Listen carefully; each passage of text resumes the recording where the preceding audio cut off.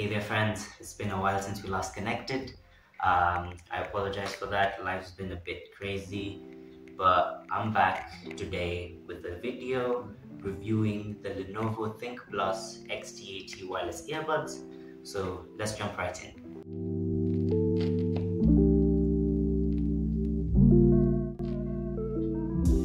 Now let's move on to the earbuds themselves.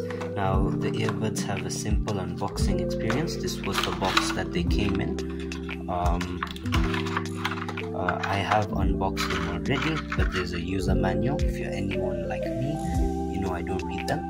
Um, they have a bunch of other, you know, different size ear tips. Uh, it also did come with a charging cable. I do not know where that is. Um, but yeah, then there are the earbuds themselves uh, they have the uh, you know two earbuds um, which you can put uh, they stick in magnetically. The case has a snap. Uh, then there is the screen on there. You can see that. Uh, yeah so that is it for that. Uh, now let's talk juice.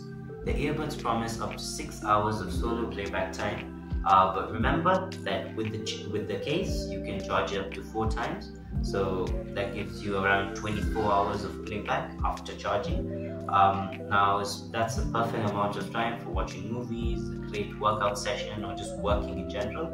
Six hours is a decent amount of time that they're promising. Now I would like you all to remember there's no active noise cancellation on this, considering the price range that they are in. Uh, but yeah, I think that should be it for the battery life. Audio is the heart and soul of earbuds. Um, now, though, though the earbuds have decent audio quality, if you're an audiophile, you will realize that the bass is a bit amped up um, and it's quite lacking in the mids and trebles, and the voice can get a bit muddy. It's like when you're at a concert and the vocals get mixed up because of all the bass. Uh, but for just casual hearing, or if you're into stuff like listening to very uh, bass up music, and I think it's perfect in terms of audio quality. Now let's talk about this nifty feature. It's a screen on the charging case that displays both the charge of the case and the charge of each earbud. It's not that special of a feature, but it's something that at this price range you can't avoid. It's a very, very useful feature, especially when you might not be close to a charger or might be at a point where you are at a place where you can't charge the earbuds so I think that uh, case screen can uh, be quite helpful for certain individuals and in certain use cases. Alright, let's discuss the elephant in the room, the pricing of these earbuds. Now these earbuds go for approximately 3,500 Kenyan shillings and in the varying price tags of the earphone market, these sit at a mid-range, okay? Um, now, are they worth it for that price? Let's wrap it up and find out. If you are eyeing the XT80s, I would like you to consider your audio preferences first and foremost. If you would want ANC, I would uh, suggest that you opt for something more expensive or maybe some other Lenovo earbuds because there are some more in the more expensive price range.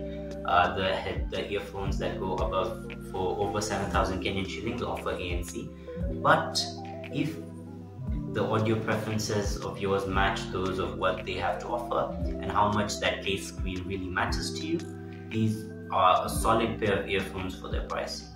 Thank you for joining in on this video and also thank you to all my viewers for the patience during my hiatus.